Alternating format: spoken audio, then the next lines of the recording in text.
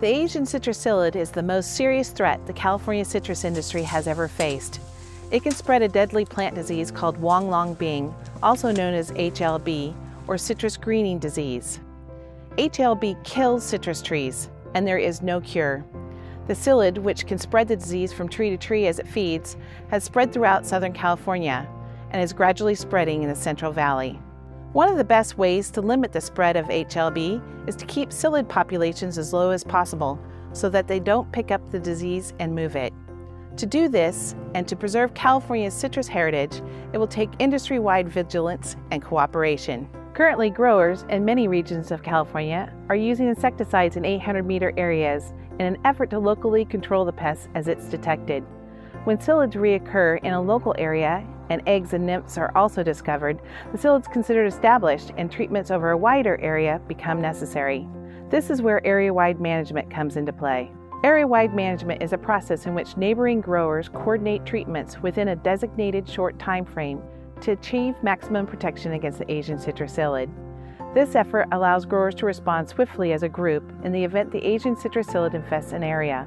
This protects grows better because the treatment extends to acreage where the psyllids likely exist but have not been found on trap cards or through visual inspection.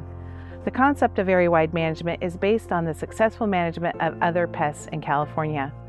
Some growers in Southern California are already working together and implementing area-wide treatments.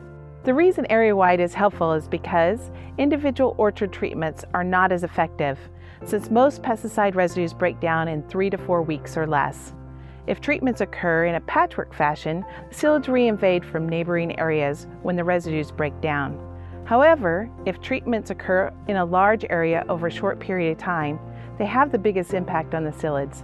Nowhere to run, nowhere to hide. Here's how it works. First, a psyllid management area, known as a PMA, is established. PMAs are small manageable zones that share a number of factors, such as landscape or topography, temperature, and a grower network.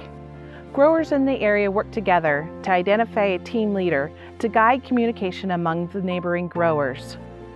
When a psyllid activity dictates treatment is necessary, the team leader contacts the growers in the PMA and schedules a treatment within a two-week time frame. ACP effective insecticides will be targeting overwintering populations and a new flush. Area-wide management is not a mandated system. However, the University of California, Citrus Research Board, California Citrus Mutual, and Citrus Pests and Disease Prevention Program and other industry leaders agree on this approach, which is really neighbors helping neighbors. The Citrus Pests and Disease Prevention Program has employed grower liaisons in key regions of the state to keep growers and industry members up to date on the Asian citrus psyllid and HLB. These individuals keep growers and PCAs informed of psyllid detections and can help you determine if and when an area-wide treatment approach is best. Contact your local grower liaison with questions about the program and get to know your grower neighbors. Collaborating with your fellow growers will help save California citrus from the Asian citrus psyllid and HLB disease.